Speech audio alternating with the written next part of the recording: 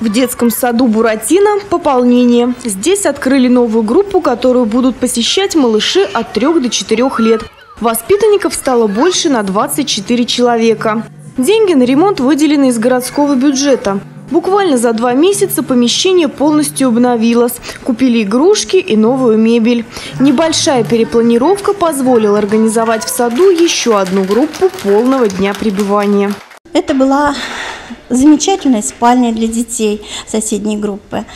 Здесь же часть была отделена комната для театра, поскольку у нас детский сад художественно-эстетического приоритета. Мы кусочек от спальни отделили для этого.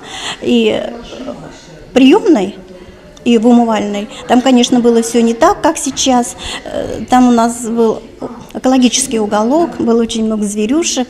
В этот же день новая группа полного дня пребывания для 15 детей открылась на базе шестого лицея.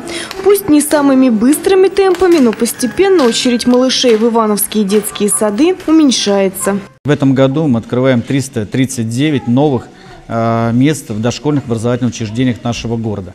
Это значит, что э, 339 э, наших малышей будут ходить в детские сады, в уютные, благоустроенные. На следующий год два детских сада планируют реконструировать в пограничном тупике и на улице Велишской.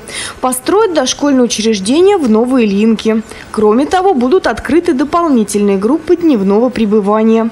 К 2015 году проблем с устройством малышей в детские сады молодые мамы испытывать не будут. По крайней мере, это обещает мэрия. Елена Белова, Андрей Семиволков, РТВ Иванова.